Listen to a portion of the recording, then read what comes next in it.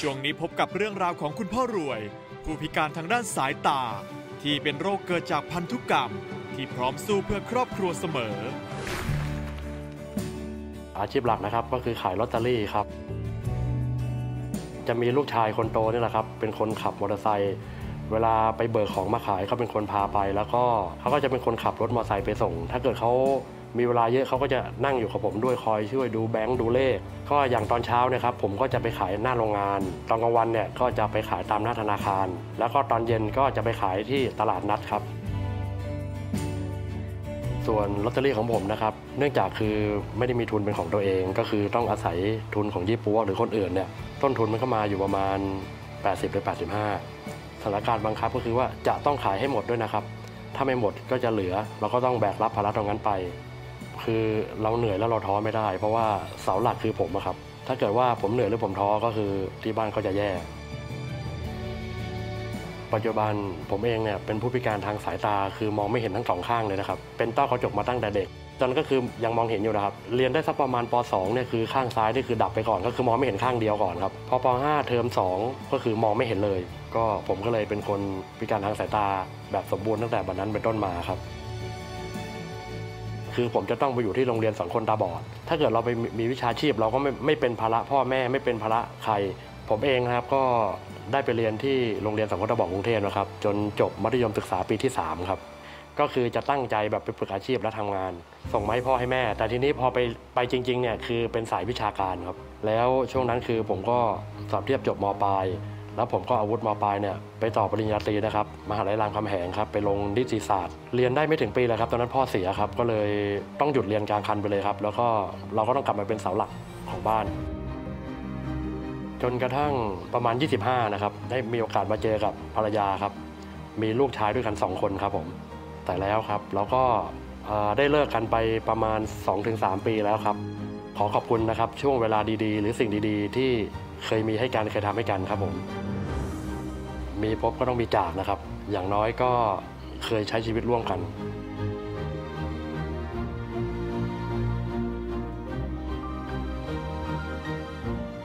ปัจจุบันนี้อาศัยอยู่กับแม่ครับ ลูกชายคนโตครับ แล้วก็เหลนครับผม ทุกวันนี้นะครับผมก็เป็นเสาหลักของครอบครัวนะครับ ก็ต้องดูแลแม่แม่ผมนี่ปัจจุบันก็อายุ 75 ปีแล้ว มีโรคประจำตัวคือเบาหวานไขมัน แล้วก็ความดันนะครับ ตรวจพบว่าค่าค่าไตเนี่ยแย่มากก็คือจะต้องฟอกไตแล้ว แต่แม่เขาไม่ฟอกส่วนลูกคนโตคนนี้นะครับก็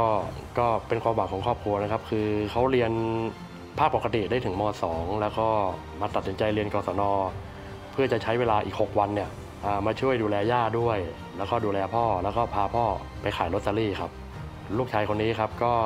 เหมือนเป็นตาทั้งสองข้างของผมปัจจุบันนะครับผม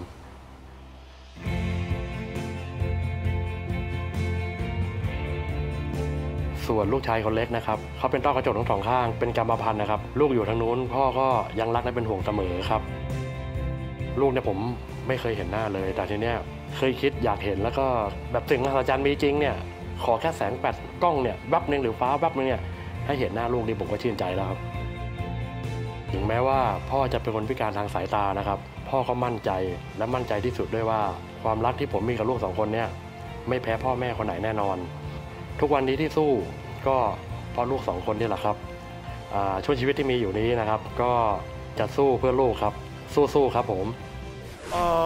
อได้รู้ตั้งแต่อายุกี่ขวบครับว่าเริ่มเป็นต้อเอ่อประมาณน่าจะประมาณสักป .2 อะครับปสองคือครับผมเริ่มมองกระดานไม่ค่อยชัดครับ อ่าฮะอ่าแล้วครูประจำชั้นก็เลยให้ไปนั่งด้านหน้าครับอ่าครับแล้วจากที่บ้านจากที่บ้านเขาก็ดูว่าเหมือนเป็นเม็ดสาคูใสๆในลูกกระตาดำอะครับ ครับผมก็เลยไปตรวจก็เลยทราบว่าเป็นต้อกระจกครับผมอ่าฮะแล้วได้รับทำทำการรักษาไหมครับอ่ารักษาทั้งหมดผ่านทั้งหมด 4 ครั้งครับที่โรงพยาบาลเด็กนี่ 3 ครั้งครับ และข้างซ้ายก็ไม่ประสบความสำเร็จครับอ่าฮะชิงขี้เกียจมองไปก่อนครับ อ๋อชิงขี้เกียจมองไปก่อน ใช่ครับ ก็มองไม่เห็นข้างหนึงไปก่อนครับผม อ่าฮะอ่าครับ มันมันแล้วแล้วการผ่าตัดทำไมมันถึงไม่ไม่ไม่ประสบความสำเร็จนะเอ่ออาจจะเป็นเพราะว่าเราเด็กด้วยครับ แล้วก็เอ่อเอ่อซนครับแล้วก็สะเทือนนะครับ อ๋อก็ ด้วยความเป็นเด็กด้วยความเป็นเด็กด้วยครับ อ๋อครับ แล้วพอคราวนี้มันไม่เห็นขึ้นมา พอไม่เห็นขึ้นมาช่วงแรกก็ก็ก็ก็เสียใจแล้วก็อึดอัดครับ จากคนเคยมองเห็นนะครับ อืม และกลับมองไม่เห็นก็ ก็เสียใจอยู่พักใหญ่ครับ แล้วก็แบบอึดอัดบอกไม่ถูกแล้วมันทำอะไรไม่ได้อะครับ อ๋อครับผม ก็นอกจากทำใจครับอ๋อแต่ก็ไว้วางแผนชีวิตตัวเองต่อไปว่าเรื่องการศึกษาถูกต้องไหมฮะก็ทีนี้ผมก็เริ่มได้ข่าวเกี่ยวกับว่าเออเขาบอกเขาใช้คำว่า มีโรงเรียนตาบอดอ่าเฮ้ยเดี๋ยวพ่อไปเรียนแล้วก็ได้ฝึกอาชีพอ่าอ่าคือก็คืออันนี้คือก็เป็นศูนย์ของ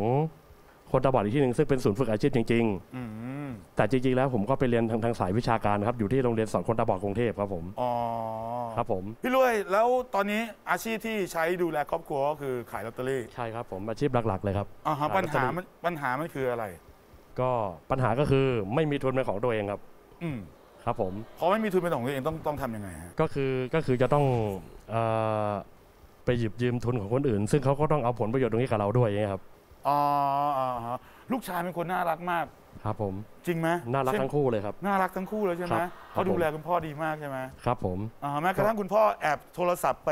ร้องเพลงที่วิทยุเขาก็คอยเป็นคนเชียร์ใช่ไหมอ๋อคือคือไม่ต้องแอบแล้วกดตรงๆเลยครับอ๋อเหรอตรงๆไม่เลต้อยงเหรแออบเลยครับ ถ้าคุณฟังขึ้นไหนขึ้นไหนที่พี่โทรไปเอ่อที่ฟังนี่เป็นเป็นเป็น AM นะครับอ่าเอ่อชื่อชื่อรายการเสน่ห์ลูกทุ่งครับ เสน่ห์ลูกทุ่ง ถ้าคุณเคยฟังรายการเสน่ห์ลูกทุ่งครับผมแล้วได้ยินเสียงคนคนหนึ่งครับ ร้องเพลงสดๆผ่านทางรายการนั้น ใช่ครับ นั่นคือเสียงของพี่รวยครับผมเอ้ยวันนี้จากร้องแล้วไม่มีคนเห็น วันนี้ร้องมามีคนดูผ่านจอทีวีรู้สึกยังไงบ้างครับ ก็ไม่มีคนเห็นผมก็ไม่เห็นเหมือนกันครับ ก็ ครับก็ ก็จริงๆ ผมก็ยังงงตัวเองอยู่ครับว่าผมเนี่ยเป็นคนขี้อายแต่ตอนณตอนที่ผมมายืนตรงนี้ได้ไงผมก็งงตัวเองอยู่เหมือนกันครับหมายแล้วมาได้ไง ได้ข่าวว่าลูกชายส่งมา ครับผมอ๋อ ลูกชายเป็นคนอัดคลิปวิดีโอมาให้ครับ อ๋อครับผม โอ้โหลูกชายบอกสนับสนุนเต็มที่ ครับแล้ววันนี้คุณพ่อก็มายืนอยู่ตรงนี้แล้ว ครับผม อยากได้เงินทุนสักเท่าไหร่ดีครับพี่ ก็ผมมีอยู่ 5 เล่มก็คือ 35,200 บาทตามโควต้าเลยครับสามหมื่นห้าพันสองร้อย200 บาท สกีได้หนึ่ง ต่อต่อละงวดต่อต่องวดต่องวดต่องวดครับ เอออ่าเอาพี่ตั๊ดเป็นยังไงบ้าง เรื่องราวกับพี่รวย ครับก็รู้สึกว่านะครับพี่รวยนะครับเป็นอีกหนึ่งคนที่สู้ชีวิตมาก ๆนะครับ ตั้งแต่อ่าป .5 ใช่ไหมครับที่ที่พี่รวยไม่เห็นนะครับ พี่รวยก็ดิ้นรนสู้ชีวิตมาเพื่อครอบครัวนะครับ แล้วก็สู้เพื่อลูกๆนะครับทั้งสองคนนะครับ ก็สำหรับตันนะครับ ก็เคยเจอเรื่องราวแบบนี้มา แล้วก็พี่รวยก็เป็นอีกหนึ่งคนที่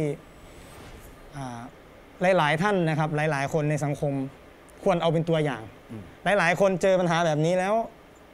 รู้สึกท้อแท้จบแล้วก็แบบเหมือนจบชีวิตตัวเองอืมนะครับ ก็อยากให้อ่าสังคมแล้วก็คนไทยทุก ๆ คนนะครับ ดูพี่รวยเป็นตัวอย่างที่สู้ชีวิตแล้วก็อ่าดิ้นรนต่อสู้เพื่อคนในครอบครัว จนถึงทุกวันนี้ และตัดเชื่อว่าพี่รวยต้องเจออาพบเจอกับอ่าความสำเร็จในชีวิต แล้วก็ส่งมอบความสำเร็จนั้นให้ลูกต่อไปแน่นอนครับ ขอบคุณครับ เป็นกำลังใจให้ครับผม โอ้ เอาละตอนนี้ขอหนึ่งเพลงหนึ่งเพลงที่จะได้ร้องต่อหน้าคนทั่วทั้งประเทศ เพลงนั้นก็คือเพลงอ่าต้องมีสักวันครับ จากพี่รวยครับ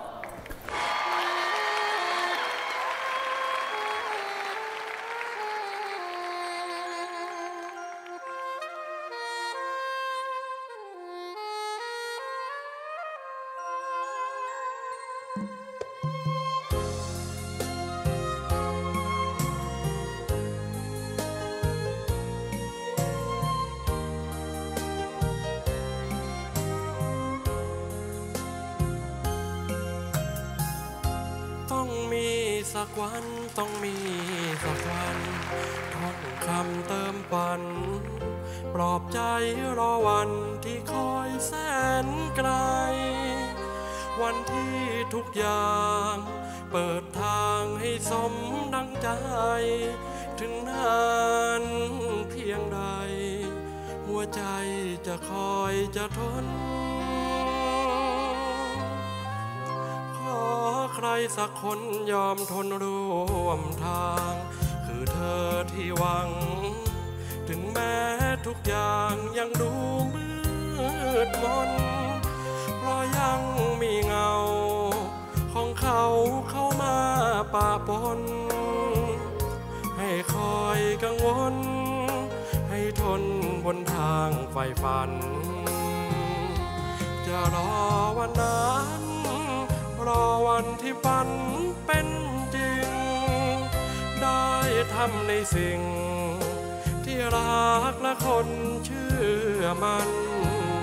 มีเธอเคียงข้าง รวมทางอย่างเข้าใจ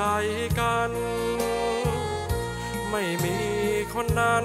คอยกีดกันเหมือนอย่างวันนี้ ต้องมีสักวันต้องมีสักวัน จะเดินตามพัน ไม่ท้อไม่หวันด้วยแรงที่มี ขอเพียงเธอรอ อย่าลาอย่าร้างไม่ตรี เป็นคู่ชีวิต ในยามที่มีวันนั้น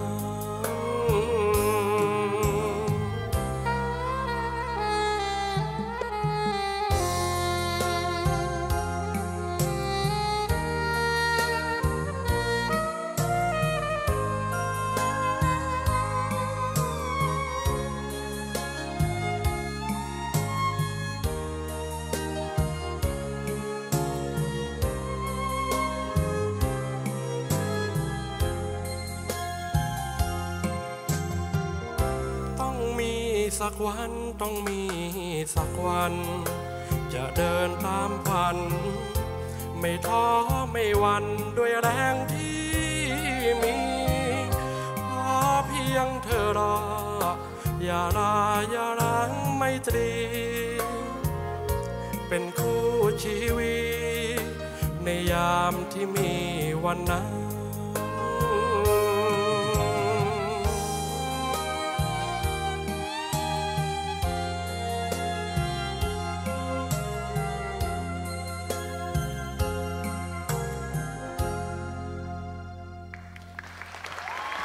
ช่วงหนามารับชมเรื่องราวของไก่